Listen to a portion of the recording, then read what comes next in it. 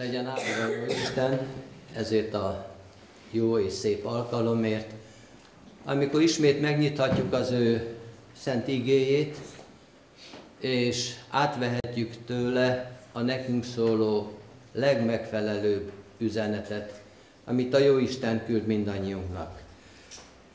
Lassan besötétedik, este lesz, majd jön az éjszaka. Nagyon jó alkalom az elmérkedésre. Elcsitul a város zaja, csend lesz körülöttünk, és lassan, lassan talán a lelkünkben is csend. Nagyon jó alkalom ez arra, hogy felidézzük azt a beszélgetést, amelyet János evangélista jegyzett fel, az ő evangéliumában, itt a harmadik fejezetben, a harmadik fejezet első kilenc versét olvasom. Tehát János evangélium a harmadik fejezet 1-től 9-ig. Vala pedig a farizeusok közt egy ember, a neve Nikodémus, a zsidók főembere. Ez jöve Jézushoz éjjel, és mondanéki, Mester, tudjuk, hogy Istentől jöttél tanítóul, mert senki sem teheti a jeleket, amelyeket te teszel, hanem az Isten van vele. Felele Jézus és mondanéki, bizony, bizony mondom néked, ha valaki újonnan nem születik, nem láthatja az Isten országát. Mondanéki Nikodémus, mi módon születhetik az ember havén? Vajon bemeheti az ő anyjának méhében másodszor és születhetik? Felele Jézus, bizony-bizony mondom néked, ha valaki nem születik víztől és lélektől, nem mehet be az Isten országába. Ami testtől született, test az, és ami lélektől született, lélek az. Ne csodáld, hogy azt mondám néked, szükség néktek, újonnan születnetek. A szél fú, ahova akar, és annak zúgását hallod, de nem tudod, honnan jő és hová megy. Így van mindenki, aki lélektől született. Felele Nikodémus és mondanéki, mi módon lehetnek ezek? Mi módon lehetséges? Más szavakkal az újjászületés. E párbeszéd folyamán az Úr Jézus beszél a testi születésről és a lelki születésről. Az ő követői, a keresztények kétszer születnek.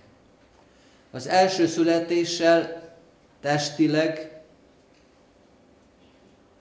ennek a földnek a lakói, egy országnak az állampolgárai. A második születéssel, a lelki születéssel válik valaki Isten országának állampolgárává. Hogy mennyire fontos ez az élmény, ez a lelki tapasztalat, az újjászületés élménye, kitűnik már az Úr Jézus szavaiból is. Azt mondja, hogy senki, aki nem élte meg ennek a mélységes átalakulásnak, megújhodásnak, újjászületésnek az élményét, az csak ennek a világnak polgára marad, a világ elpusztul, és elpusztulnak az ő fiai is. Mert az itteni élet múlandó, nem tart örökké, és egyetlen egy örök haza létezik, az a dicsőséges ország, amelyet a Jóisten az őt félőknek, az őt szeretőknek, az ő gyermekeinek készített. Nem kell azon csodálkozni, hogy nagyon nehezen sikerült felfogni a Nikodémusnak, hogy miről is van szó. Ő lelkileg egy egészen más beszélgetésre készült fel. Ő neki lett volna mondani valója Jézusnak, nem csak kérdések, hanem lehet sok minden, ami motoszkált a lelkében, az agyában, az élet kisebb és nagyobb kérdései, mindazok, amikkel szembe találta magát egy hosszú élet folyamán, hiszen már eléggé idős volt, és amire szeretett volna választ kapni. És érdekes, hogy az Úr Jézus nem várja meg, hogy Nikodémus folytassa a megkezdett beszédét, hanem a lényegre tér. Mennyire jellemző ez a, ez a mondjam úgy a beszédstílus Istenre, a Bibliára, a sző szent szavára. Sokszor voltak beszélgetéseim a Bibliáról, és ilyenkor az akadékoskodók arra hivatkoztak, hogy már egy elavult régi könyv, nagyon sok már nem felel meg a mai modern ember igényének, a mai modern ember mint több ismeretre vágyik, és sok olyan van benne, ami nem elégíti ki. Azt mondtam erre, hogy a Biblia nem is akar válaszolni akármilyen kérdésre. Ő nem foglalkozik olyan lényegtelen, aprócseprő dolgokkal, amelyekben mi sokszor belebotlunk az élet útján, hanem mindig a leglényegesebbet nyújtja az embernek. És ezt a magatartás módot, amely kisugárzik a Szent Könyvből és az Úr Jézus beszédéből is, próbálom szemléltetni egy példával. Tegyük fel, hogy valakit elgázol baleset folytán az autó. Vértocsában fekszik, tehetetlenül az út aszfaltján. És persze azonnal sürgősen hívják a, a mentőautót, jön az orvos, a beteg fölé hajol, megnézi, megvizsgálja. A betegnek van annyi ereje, hogy szóba álljon az orvossal.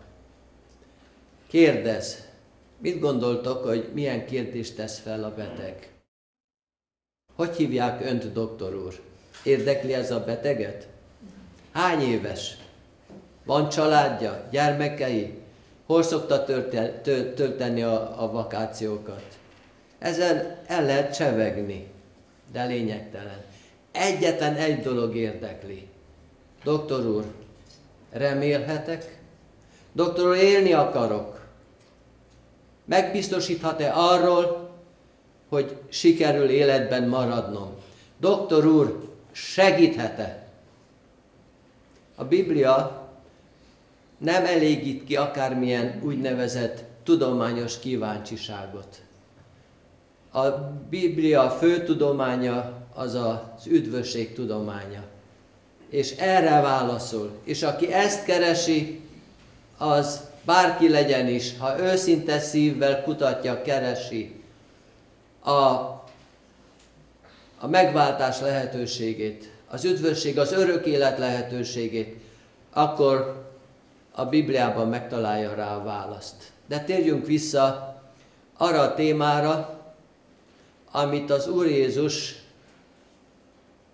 mondott arra, arra a példára, amit az Úr Jézus mondott Nikodémusnak.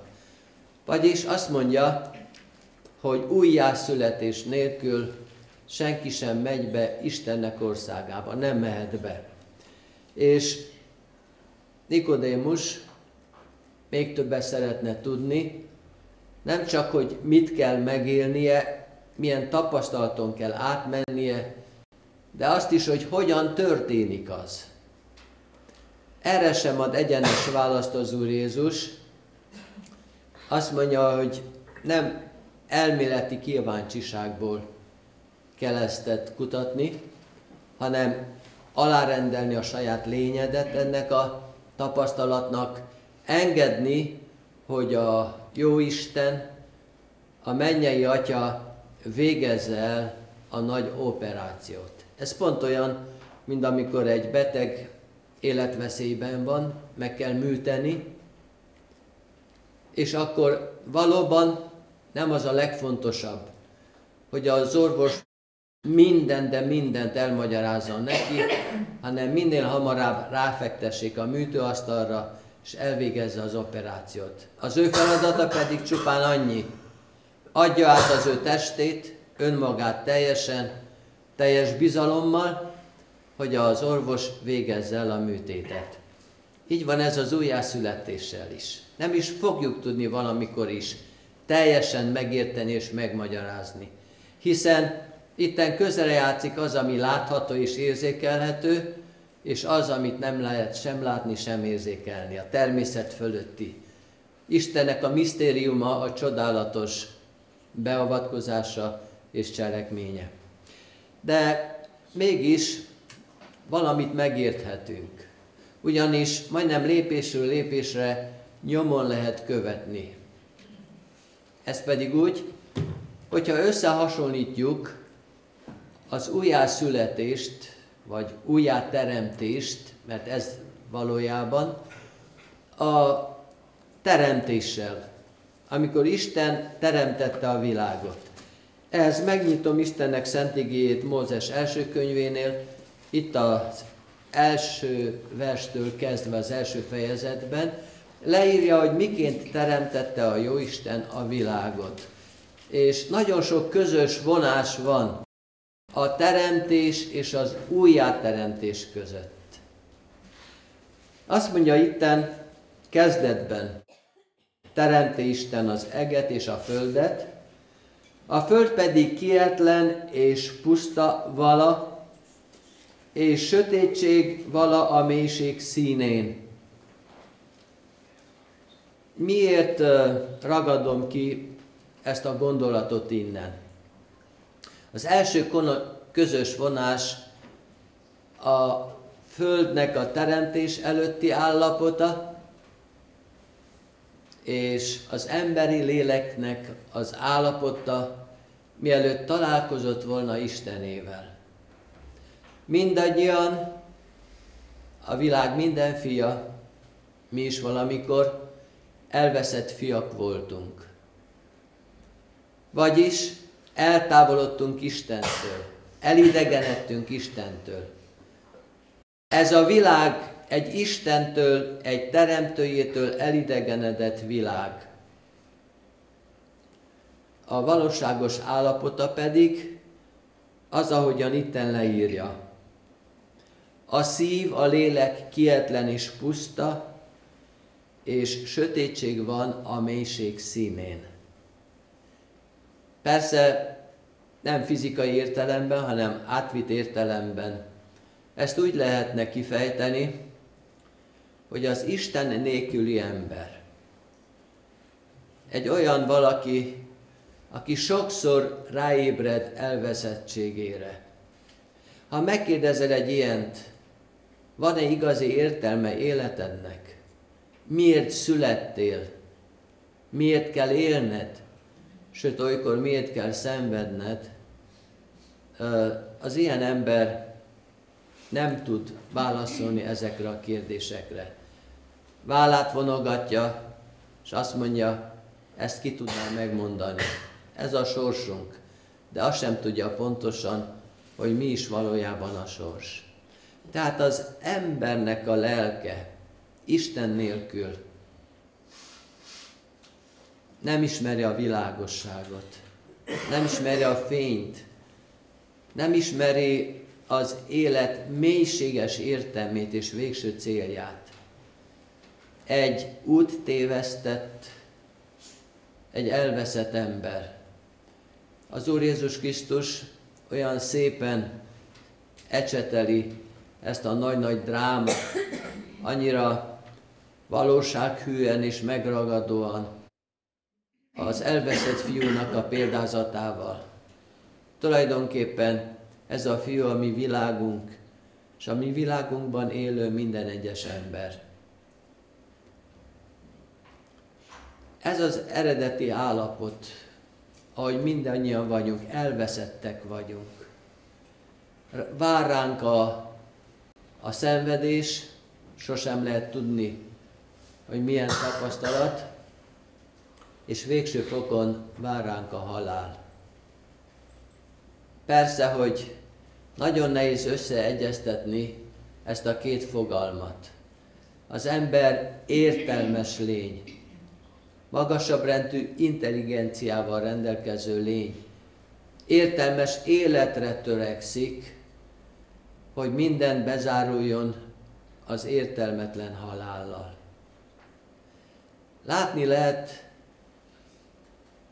hogy valójában ez a sors, amely halállal végződik, nem ránk szabott sors valójában. Tehát idegenszerű. A halál idegen test, amitől írtozunk, amitől félünk, amitől, amitől ha lehetne, szeretnénk megszabadulni.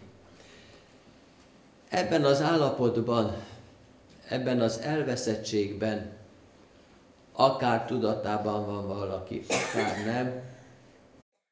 Folytatom itten mostani idézek a leírásból, és az Isten lelke lebeg a vizek felett. Tehát mi azért nem vagyunk egyedül. Bármilyen is legyen az élete valakinek, bármennyire elidegenedett Istentől és távol van Istentől, Istennek lelke követi, beárnyékolja, nem hagyja el. A jó Isten az ő lelkén keresztül keresi az ő elveszett fiait. Kopogtat a szív ajtaján, ahogy egy másik bibliai kép szemle, szemlélteti nekünk ezt. És úgy akarja, hogy megtalálja az elveszett fiút, az elveszett gyermeket, és visszavezesse, visszavezérelje azt az atyai házba. Csodálatos ez a gondolat, és gondolom, hogy mindig egy örökké valóságon át hálásak kell legyünk majd a jó Istennek, már most is persze azok, hogy, hogy bár megérdemelnénk, hogy elhagyjon, hiszen mi vagyunk azok, akik elhagytuk őt. Sőt, el is taszítjuk sokszor felénk nyújtott irgalmas kezét. Ő nem hagy el bennünket. Sokszor ö, vita kérdésé válik az, hogy mi is lehet az a megbocsáthatatlan bűn. És vannak különböző elképzelések. A cselekedet súlyosságával arányosan többé-kevésbé megbocsátható egy bűn. De ha a bibliai tanítás egészét veszük figyelembe, akkor kitűnik a végső igazság, hogy a jó Isten kész bármilyen bűnt megbocsátani. Nincs olyan bűn, amit nem bocsátana meg. Azzal a feltétellel, hogy az ember akarja, hogy megbocsátassék az ő bűne. Én ezt úgy is képzelem el, hogy én nekem nem kell bocsánatért kitartóan fohászkodnom, fohászkodnom könyörögnöm.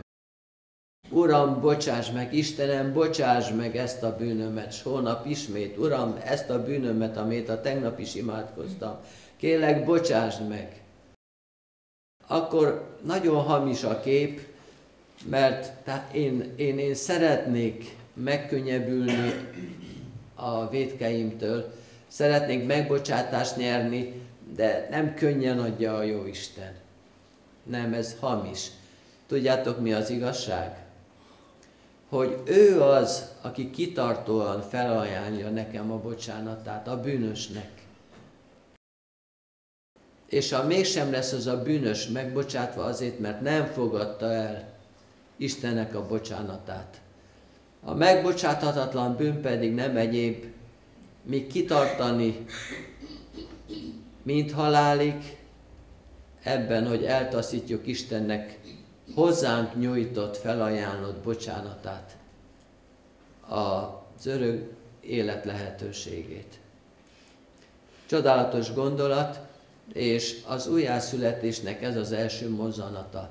A zérótól indulunk ki, minden egyes ember. Nincs olyan ember, aki valamilyen jó előzménnyel induljon, hogy ő neki már vannak üdvösségre méltó cselekedetei, tehát neki jobban, könnyebben fog menni az újjászületés. Mindannyiunknak szükségünk van a nagyorvos beavatkozására. Minden embernek rá kell feküdnie a műtőasztalra, hogy megnyissa a mellünket, kivegye onnan a kőszívet, ismét bibliai képeket használok, és érző, szerető, hússzívet, mondanám, boldog szívet tegyen az én mellembe.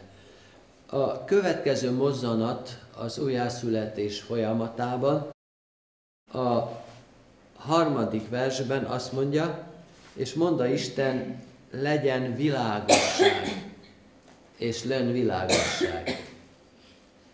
Ez egyértelmű azzal, amikor a tékozló fiúról azt mondja, hogy egyszer csak magába szállt a tékozló fiú, és felismerte, hogy milyen, milyen szörnyű butaságot csinált. Milyen esztelenséget követett el. Semmi sem változott kívülről. Minden az maradt, ami volt. Tehát szolgává jutott ottan, ugye disznókra vigyázott, disznópásztor lett belőle, táplálékot is csak annyit kapott, mint a disznók, tehát egy, egy, egy, egy nagyon-nagyon megalázó helyzetbe került, és napok teltek el, és ő így élt. Talán már hozzá is szokott. Talán már második természetévé vált, hogy ez legyen és ilyen. És akkor egyszer csak valami történik, egy változás. Nem a kinti világban, nem jön egy olyan megrázó esemény, aki magához térítse, hanem megvilágosodik benne. Most már világosan látja, hogy nagyobb bolondságot nem lehetett volna elkövetni, mint amit ő tett. Így vannak azok az emberek, akiknek lelkét Isten lelke megérinti. Addig azt hiszik, hogy nincs jobb életmód, mint amit élnek. Hadd együnk, hadd mulassunk, dolgozzunk persze azért, hogy még több legyen, még többet esetleg tékozolhassunk, és így tovább. Éljük ezt a földi mindennapi életet. Ez a mi életünk. Meg vagy elégedve? Meg, van mindenem. És akkor mivel a Szentlélek azt mondja, te vak vagy és nem látod. Nem látod, hogy valójában szegény vagy, mert amit van, az nem a tiéd. Nyomorúságos vagy, vak vagy, mezitelen vagy, szerencsétlen. És amikor rádöbben valaki, hogy valóban ez a helyzet megvilágosodik, ez a felismerés vezeti oda, hogy kezdje keresni életének mélyebb és távolabb, távolabbi célját. Az élet igaz értelmét, keresse Istent.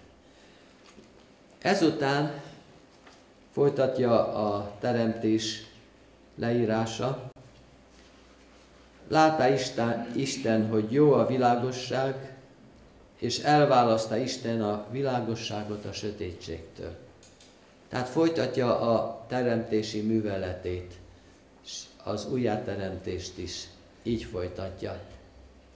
Hogy amikor az ember megvilágosodik, akkor egy újabb érzékszervet kap, egy erkölcsi érzékszervet, amivel kezd különbséget tenni az ő múltja és jelene között, a régi élete és a mostani vagy a jövőbeni élet között, a jó és a rossz között, a mulandó világ és az el nem múló dicsőség között.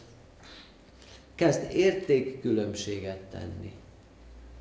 Addig, addig tulajdonképpen a mindennapi embernél hiányzik ez, hogy ennyire vigyázzon a különbségtételre. Márpedig különbséget kell tenni a földi élet és a mennyei élet között. Van, akik, akik azt mondják, tulajdonképpen lelkinek lenni, vagy igazi kereszténynek azt jelenti, hogy itt a Földön rendesen jól éljél. Ez mindenképpen jó, de nem elég. Tulajdonképpen, ha a keresztény ember kétszer születik, egyszer testileg, majd lelkileg, akkor azt jelenti, hogy ő már lélekben egy másik világhoz tartozónak is kell, hogy érezze magát. Igen, ehhez a világhoz is tartozik, de egy másik világhoz is tartozik. Az eljövendő Isten országához. Érdekes az, hogy többször is említi, hogy a Jóisten elválasztja, azt mondja először a sötétséget a világosságtól, tehát felismeri az ember, hogy sok mindent, amire talán még büszke is volt, a sötétséghez tartozik, és ő neki mostan világosságban kell járni. Érdekes ez, Pálapostól azt mondja, hogy ő nem szégyenli Krisztus evangéliumát, de azelőtt üldözte Krisztus evangéliumát. És egy ilyen változás történik az ő életében is. Miután megismerte Krisztust, azt mondja, hogy szemétnek ítél mindent, amit azelőtt értéknek, kincsnek ítélt. És viszont, ami akkor kincs volt, az nem kincs, hanem szemét. A következő azt mondja, hogy a Jóisten nevezi a világosságot nappalnak, a sötétséget pedig éjszakának, lőn este és lőn reggel első nap. Tulajdonképpen a nap két szakasza között a határ mindig természetes. Amikor, amikor kezd sötétedni, akkor jön az éjszaka. Amikor kezd világosodni, akkor virad, hajnalodik, jön a nappal. Vannak olyan dolgok, amiket ilyen természetszerűen fel lehet ismerni, értelemszerűen meg lehet különböztetni. Itten utalnék például egy ilyesmire, hogy miért is nem dohányzunk mi. És azt mondjuk azért, mert az orvosok is azt mondják, hogy az ártalmas a testre nézve. A test pedig Istené az én testem, Isten lelkének a temploma. Ezt nem nehéz megmagyarázni, hogy miért van valami eltanácsolva vagy megtiltva, és miért ajánlott más valami.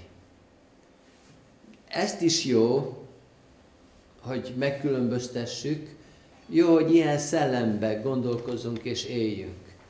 De aztán tovább megy, és azt mondja, hogy legyen mennyezet a víz között, amely elválassza a vizeket a vizektől. Ami azt jelenti, hogy legyen tehát az atmoszféra, és el legyenek választva a fent való vizek a lent való vizektől.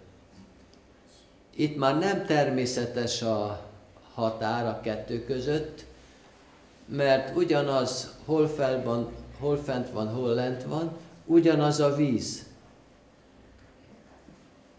Egyszerűen csak azért került oda fel, és ide le, mert egy tekintély, amely parancsolni tud a vizeknek is, ezt parancsolta. Az, aki később majd a galileai tengeren parancsol a haboknak, és a habok elsimulnak a hullámok, azt parancsolta a víznek is ezt a törvényt. Gondolom, hogy amikor, amikor megtörtént ez a jelenség, nem tudni pontosan milyen lehetett az előtt, akkor a Jóisten egy törvényt teremtett meg, ami által létrejött ez a természeti jelenség. Elválasztottak a fent és a lenti vizek. Vagyis a víz két területre osztódott, az alsó és a felső. Hát van ilyesmi is a lelki életben is. Mert azt mondtam, hogy az éjszaka és a nappal között a különbség természetszerű. De hétfő és kett között nincs ilyen határ. Kedd és szerda között nincs. Sőt, még szombat és a többi napok között sincs egyáltalán természetes határ. Nincs valami, ami megkülönböztesse, hogy a vak is lássa, ez szombat, vagy ez, tudom is én, kedd.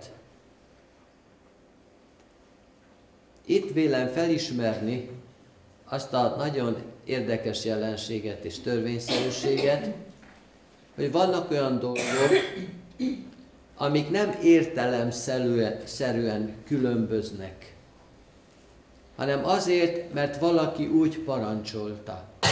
Ilyen például már említettem a szombat kérdése, az Úrnak a napja. Nem azért tartjuk a szombatot, mert tudom is én, más jellegű az a nap, szebb, naposabb, tudom is én, valamiben különbözne a többi naptól, hanem mert azt mondta a Teremtő. És amikor én ezt megértettem és elfogadtam, azt jelenti, hogy elfogadtam a Teremtőnek a tekintélyét is. Ő ezt teheti, és amit ő tesz, rám nézve, hatalmas kötelesség. És több minden. Gondolom, hogy már Éden kertjében is. Ott voltak különbségek fák és fák között. Lehet az egyik almafa volt, a másik körtefa, a másik cseresznyefa, meg tudom is, hogy hányféle fa lehetett ottan. És akkor ezek mind olyan természetszerűen más volt egyik a másikhoz képest. És akkor ott volt egy fa a kert közepében, ami nem azért volt más, mert esetleg a, a gyümölcsei mások lettek volna, vagy esetleg, hogy mérgezett lett volna a gyümölcse. Hogy azt mondja a, az Úr, Ádám és Éva, vigyázzatok, mert ezek mérges gyümölcsök. És hogyha beleharaptok, akkor meghaltok. Nem azt mondta. Sőt, lehet, hogy kívánatosabb volt a gyümölcse, mint a többi fának. Nem azért, mert azt mondta ő. Tehát a lelki fejlődésben, az újjászületés folyamán az ember eljut egy olyan megértési fokra, amikor elfogadja azokat a különbségtételeket, amiket Istennek a szava szab ki. Például így van a táplálék dolgában. Azt mondja az egyesekről, hogy tiszták, mások tisztátalanok. Ezt nem fizikai értelemben kell venni. Egy kedves cigánytestvérünk kéményseprűs volt megyesen, és nagyon missziószellemű volt, szívesen beszélt az ő szeretett Jézusáról. És fel is használta az alkalmat, ahány házhoz bekopogtatott, hogy kéményt seperjen, hát ugye nagyon rendesen viselkedett, szépen beszélt a háziakkal, jól elvégezte a dolgát, meg voltak elégedve, és akkor ilyenkor mit csinál a világi ember? Egy pohár kapálinkát. Ezért a kéményseprűsök akkor, amikor még jártak, majdnem mindegyik részeg volt. Dehogy is, köszönöm szépen, én nem élek vele. Hogy, hogy? Hát én hívő ember vagyok. Na és? Nem, azt mondja, én ez, nekem az értelmemre szükségem van, hogy minél jobban megértsem az Úr Jézust, a jó Istent, az ő akaratát. És kezdtek beszélgetni. Nagyon megtetszett egy, egy, egy hölgynek a, a ház asszonyának a, a cigányt kéményseprő, és hamar asztalt terített, és meghívta, hogy ebédeljen ott náluk. De megkérdezi a, a testvér, hogy de tiszta? Erre úgy felháborodott a háziasszony, hát egy nagyon szép tiszta ház volt minden, jó háziasszony takaros, és ilyesmit mer kérdezni ez a cigány tőle, hogy tiszta, mi az asztalon van? És akkor a testvérünk megmagyarázta, kérem szépen, nem ilyen értelemben. Van egy másfajta tiszta és tisztátalan. Ezt a szennyre érthető tiszta és tisztátalan különbséget, ezt mindenki tudja, láthatja, érzékelheti, különbséget tesz, ugye, mi a mocskos és mi a tiszta. De van olyan valami, amiért, amit azért különböztetünk meg, mert Isten különböztette meg. És azt hiszem, hogy igazi célja ennek, ami nálunk van, hogy különbséget teszünk bibliai szellemben a tiszta és tisztátalan eredel között. Az egészség az csak egy, tudom is én, másodlagos, harmadlagos tényező, hanem a fő ugyanaz, ami a szombat tekintetében, nem azért kell szombaton pihenni, mert egészségesebb szombaton a pihenés, mint hétköznap, és nem azért kell a pénzben is különbséget tenni, ez az enyém és ez az új, mert tudom is én jobban szolgálja a gazdagságunkat vagy egészségünket, hanem azért, mert ezáltal elismerjük azt, akinek átadtuk magunkat, aki képes volt teremteni, és most újjá akar teremteni engem is.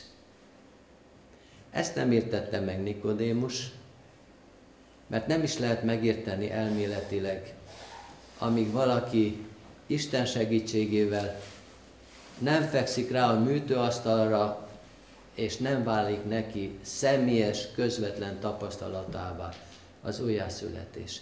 Úgy gondolom, hogyha Isten népének valamire szüksége van, akkor erre az újjászületésre van szüksége. Hogy már ne legyek az, aki voltam, hanem megváltozzak. Az indulatos, türelmetlen, ideges emberből nyugodt. A birálkodó, kötekedőből egy csendes, békés teremtés legyen. A tisztátalan bűnös emberből pedig egy Jézus vére által megtisztított, Istennek átadott szent ember. A jó Isten ezt akarja, ezt a nagy csodát megcsinálni. A világ teremtése óriási csoda volt, és mégis könnyebb, mint egy embernek az újjáteremtése. Tudjátok-e miért? Mert Isten akarata előtt nincs akadály. Ő, akarja, a föld rögöt átalakítja a gyémántá vagy aranyjá. És az anyag engedelmeskedik, mert nincs akarata. Isten akarat előtt az egyetlen akadály csak az emberi akarat lehet. Ezért olyan nagy csoda a világteremtéssel, vagy világteremtéshez hasonlítható csoda az, amikor egyetlen ember magába száll, megérzi Isten közellétének a leheletét, az ő szent lelkének a munkáját, vágyodni kezd az ő örök országa után, átadja az életét, és új ember lesz. Talán azért is történik olyan ritkán ez meg, mert az emberi akarat mindig keresztbe helyezkedik, szembe az Isteni akarattal. A ma esti elmélkedés célja az, hogy eszméltessen bennünket ismét arra, hogy talán valami hiányzik a mi életünkből, valami talán elmaradt, nem akarok általánosítani. De ha valaki úgy érzi, hogy még nem érte teljesen át. Istennek ezt az átalakító munkáját, még nem késő, és utolsó leheletünkig Istennek lelke leveg a mi életünk fölött, bíztat és bátorít, hív és erősít, hogy adjuk át a mi életünket neki, és legyünk az ő gyermekei. Segítsen meg mindannyiunkat a jó Isten erre. Amen.